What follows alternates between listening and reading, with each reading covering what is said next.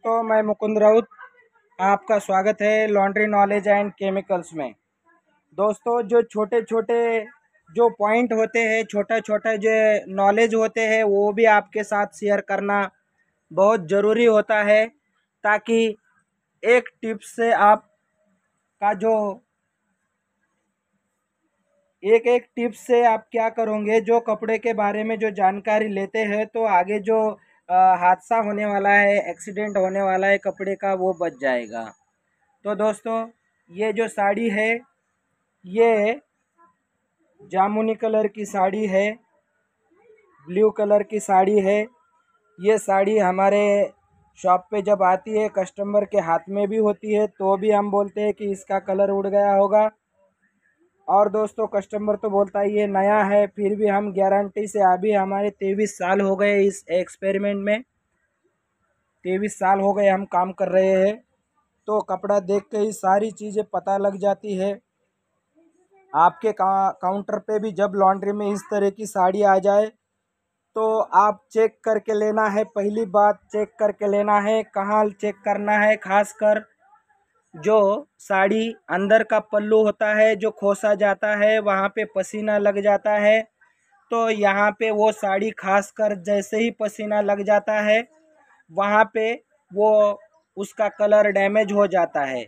दूसरी बात, जो लेडीज़ लोग पल्लू अपने बगल में पकड़ते हैं, वहाँ पे देखना है जैसे ही पसीना लग जाता है, इस तरह की साड़ियों में वहाँ पे कलर उड़ जाता है। तो ये चेक करके ले लिया। अब कस्टमर को क्या बोलना है, देख लीजिए।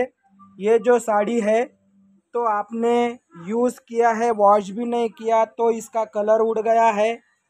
हमें तो इसको वॉश करना है। तो हो सकता है इसका कलर उड़ जाए। हमारी गारंटी नहीं है, क्योंकि ये कपड़ा ही डैमेज है कलर ही डैमेज है इस तरह से। हाँ दूसरी कोई भी साड़ी हो तो उसकी तो हम गारंटी दे देते हैं।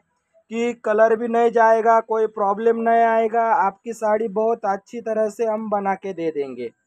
मगर जब इस तरह का कपड़े में ही कलर में ही फॉल्ट है तो हम क्या कर सकते हैं?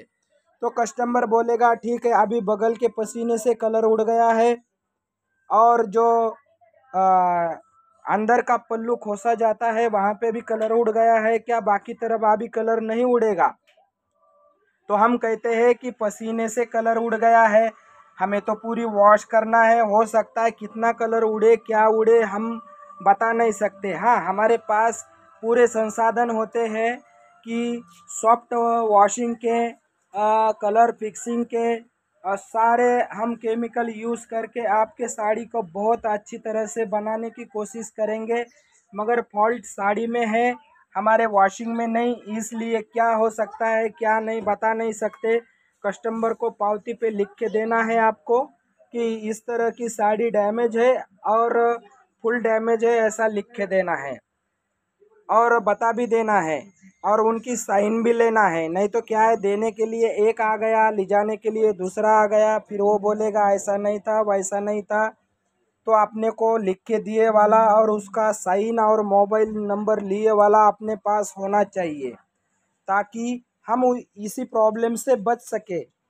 सच में तो ये हमारा प्रॉब्लम नहीं है, मगर हम अगर ध्यान नहीं देते हैं, थोड़ा भी हम ध्यान नहीं देते, ये हमारी गलती है, बाकी हमारी गलती कुछ नहीं है। तो दोस्तों, इसी तरह से गलती मत करना। जो कि आपकी गलती ना होते हुए भी आपके गले में ये लटक जाएगा। क्योंकि आपने गलती ये की है कि सावधानी से इस तरह की साड़ियाँ चेक करके नहीं ली है। तो और साइन नहीं लिया है कस्टमर का, उसको लिख के नहीं दिया है। तो दोस्तों, इसी तरह के जो कपड़े आते हैं, कपड़ा देख के ही हम पहचान जाते हैं कि इस तरह का आगे प्रॉब्लम होने वाला है। तो इसी तरह से क्या हो जाएगा? जब भी इस तरह का प्रॉब्लम आपके लॉन्ड्री में आ जाएगा, जिस तरह से मैंने बताया, उस तरह से आप व्यवहार कर सकते हैं। आपका लॉन्ड्री नॉलेज बढ़ाने के लिए देखते रहिए।